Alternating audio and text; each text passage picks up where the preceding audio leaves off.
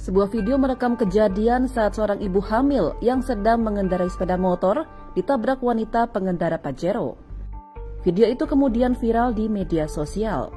Dalam rekaman terdengar sejumlah warga yang emosi karena pengendara mobil tidak bertanggung jawab. Wanita itu dicegat dan diberhentikan oleh warga yang menyaksikan langsung kejadian tersebut.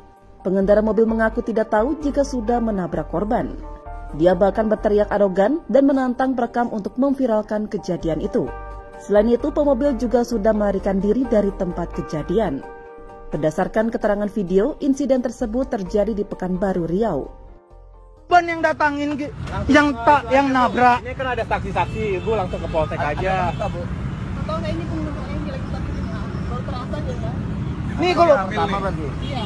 malah diambil lagi pula ibunya.